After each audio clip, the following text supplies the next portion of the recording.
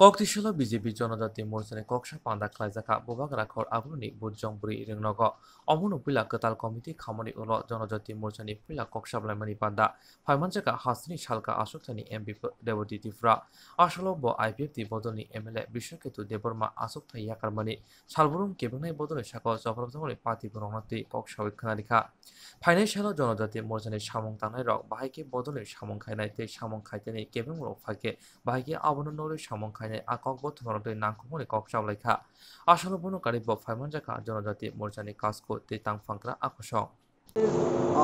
জনজাতি মোর্চা, এটা সদর আরবান এরিয়া। এই এরিয়ার আজকে উনি আমাদের নতুন সভাপতি। আজকে নতুন কমিটি হওয়ার পরে প্রথম আমরা এই আমাদের এটা গার্লস বুজ্জম বিদ্যালয়ে আমরা আজকে মিলিত হলাম। সাংগঠনিক বিষয় নিয়ে আলোচনা হবে। কি করে আমাদের এই সদরের মধ্যে আমাদের প্রত্যেক বিধানসভা ক্ষেত্রে জনজাতি মোর্চাকে শক্তিশালী করা যায় এবং সাতটা মোর্চার মধ্যে জনজাতি মোর্চা একটা। পার্টিকে শক্তিশালী করতে গেলে এই মোর্চারও অনেক ভূমিকা। তো কাজে আগামী আমাদের পুরো কর্পোরেশন যে নির্বাচন বা পৌরসভা, এই নির্বাচনগুলিতে যাতে আমাদের মোর্চা সহায়ক ভূমিকা পালন করতে পারে, পার্টিকে সাহায্য করতে পারে, তার জন্য আজকে এখানে প্রথম আমাদের বৈঠক। যারা কমিটির মেম্বার আছেন, তাদেরকে নিয়েই আমরা আজকে মানে বসবো।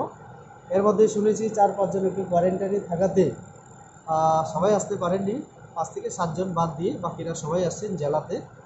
আমাদের একত্রিশ জন নিয়েই তো আমাদের একত্রিশ জন কমিটি, তার মধ্যে আজকে আমি দেখেছি ম্যাক্সিমামই উপস্থিত আছেন পাঁচ থেকে সাতজন বাদ আজকে এই আলোচনার পরে যে কমিটি, কী নির্দেশ দেবেন আপনি? দেখুন, সাংগঠনিক যেহেতু আমাদের এই শহরাঞ্চলে যেখানে যেখানে আমাদের জনজাতি আছেন, প্রত্যেক ওয়ার্ডে যাতে আমরা জনসম্পর্ক করতে পারি। কে কোথায় কীভাবে আছেন, আমাদের দলে কতজন, যত ভোটার আছেন আর তাদের কী সমস্যা তাদের মনের কথা জানার চেষ্টা করব।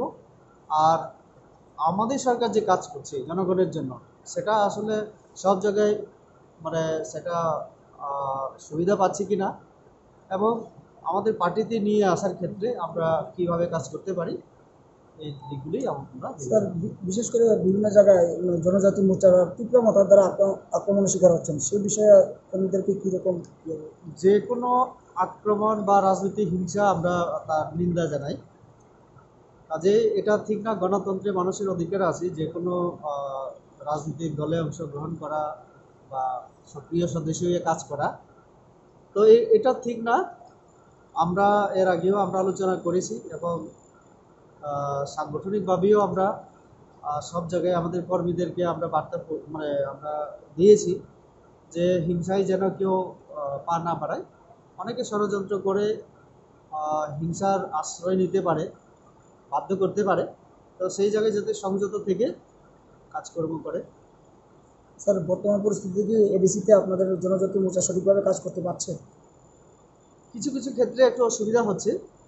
কারণ তারা যদিও থানচার কথা বলেছিল, কিন্তু থানচা শক্তি প্রাসাদের নিয়ে তো অনেক দূরের কথা। তাদের দলের মধ্যেও থানচা আছে কিনা আমার সন্দেহ। কারণ, আমাদের প্রদ্যুৎ বাবু, উনি সুপ্রিমো ওই দলে। ওনাকে, ওনার কর্মীকে ধরে এনে পুলিশের হাতে তুলে দিতে হবে। একজন বিধায়ককে আক্রমণ করেছিলেন। তো তা থেকে প্রমাণিত হয় যে পুলিশের হাতে সেই দলেরই সুপ্রিমোকে ধরে দিতে হয়। বারবার উনি আপিল রাখছেন সবার কাছে যেন হিংসায় মানে পা না বাড়ায়। কিন্তু ওনার কমানো কেউ মানছে না। তো যার ফলে আজকে পাহাড়ে বিভিন্ন জায়গায় যেখানে একটু শক্তিশালী সেখানে তারা বিভিন্নভাবে অন্যান্য দলের রাজনীতি কর্মীদেরকে হয়রানি করার চেষ্টা করছে। পঞ্চায়েত নিয়ে তাদের অযথা একটা আমরা দেখছি কার্যকলাপ। আরডি ডিপার্টমেন্ট পঞ্চায়েত থেকে পরিষ্কার বলা হয়েছে যে তাদের যে কমিটিগুলি হয়েছিল সেটা বেআইনি। তারপরে তারা বিভিন্ন জায়গায় গিয়ে বলছে, তালা মারছে বিডিও এবং পঞ্চায়েত সেক্রেটারিকে বলছে, যেতে পারবে না, অফিস খুলতে পারবে না। এটা ঠিক না। তো কাজে আমি ওনার প্রতি আমার আহ্বান রাখতে চাই প্রতিজ্ঞাবর কাছে। আজকে ওনার জন্মদিন। ওনার প্রতি যেমন জন্ম, জন্মদিনের শুভেচ্ছা রইল তেমনই যাতে গণতান্ত্রিক পরিবেশে মানুষ রাজনীতি করতে পারে। এবং যেহেতু থানচার নাম করে এসছেন কাজে থানচা প্রতিষ্ঠার ক্ষেত্রে যেন আরও একটু অ্যাক্টিভ হয় এই কথাই বলব। থ্যাংক ইউ স্যার প্রথমে বলব ওটা ওই দলের ব্যাপার কারণ ওই দলের বিধায়ক। আমি দেখেছি আপনাদের মাধ্যমে মিডিয়ার মাধ্যমে উনি হোয়াটসঅ্যাপ না কিসে করে যেন পাঠিয়েছেন পদত্যাগপত্র। যেটা আমিও মনে করি ঠিক না। কারণ স্পিকারের সামনে গিয়ে ওনার সামনে সিগনেচার করে আমি পদত্যাগ করলাম। কারণগুলি তো লিখিত আকারে বা মৌখিক আকারেও তিনি বলতে পারতেন। তো সেটা না করে স্পিকারের কাছে হোয়াটসঅ্যাপে তো হয় না। ঠিক আছে হোয়াটসঅ্যাপে পাঠানোর পর পরের দিন আবার তিনি দেখা করতে পারতেন, কথা গিয়ে বলতে পারতেন। এর মধ্যে দেখেছি মুখ্যমন্ত্রীকে কপি দিয়েছেন আবার আমাদের এনসি বাবু যিনি ওই দলের সভাপতি। তো এনসি বাবুই বলছেন এটা মানে আমি যতটুকু জানি ঠিক না। তো এই জন্য পেন্ডিং আছে। তো কাজেই ওই দলের সুপ্রিমি হিসেবে এখন এনসি বাবুরা দেখবেন।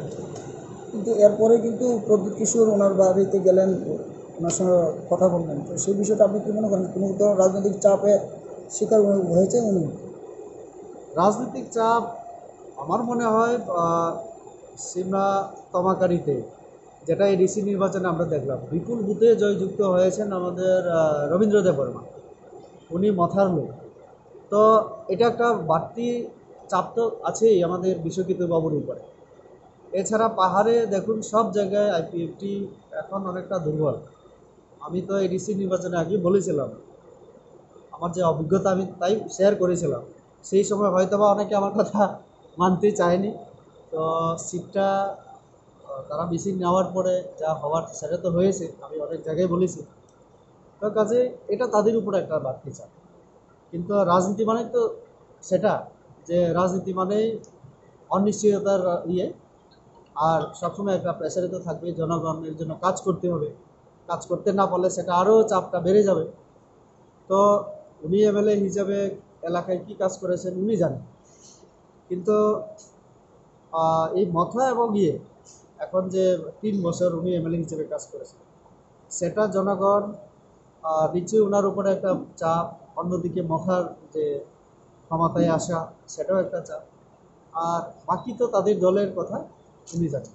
আপনি কি মনে করেন বিজেপির উপর কোনো প্রভাব পড়তে পারে ওনার পদত্যাগে? একজন যদি উনি যদি কোথাও চলেও যান আর বাকি যদি ঠিক থাকেন আমি মনে করি এত মানে বিজেপির উপরে চাপ আসার কথা না। কারণ বিজেপি থার্টি সিক্স এবং তাদের আটজন নিয়ে আমাদের সরকার চলছে। তো ফর্টি ফোরের জায়গায় ফর্টি থ্রি হবে। যাই হোক এমন করলেও আমাদের মেজরিটি আছে এবং পুরো পাঁচ বছরই চলবে বলে আমি আশা করি। বর্তমানে একটা গুঞ্জন শোনা যাচ্ছে রাজ্য রাজনীতিতে। এই গুঞ্জনটাকে নিয়ে কী বলব? মুখ্যমন্ত্রী পরিবর্তন মুখ পরিবর্তন।